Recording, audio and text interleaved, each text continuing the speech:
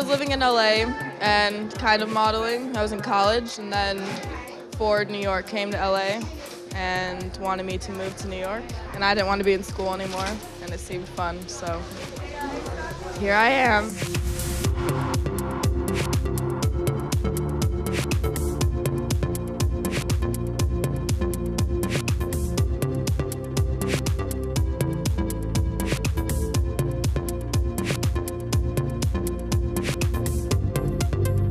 Steven Meisel, by far.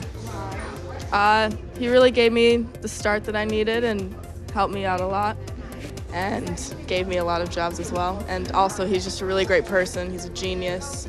Everything he does is so intelligent, and you just learn a lot as well about a lot of things when you're working with him, too.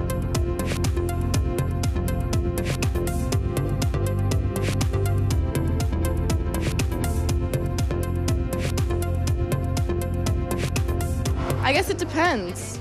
I mean, when it's with Steven, I love love shooting with Steven. But I really, really like shows as well. I think the energy is fun, even though it's really exhausting sometimes, but I do enjoy doing shows.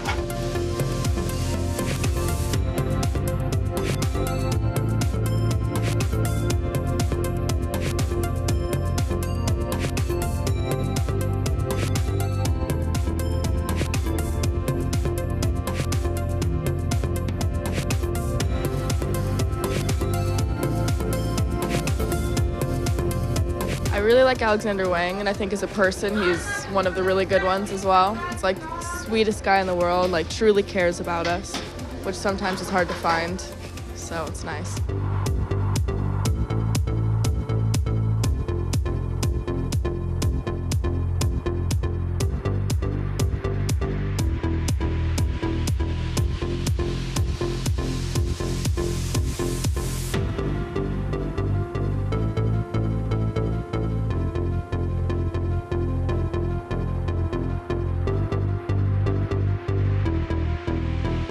My free time, I sleep a lot, hang out with friends.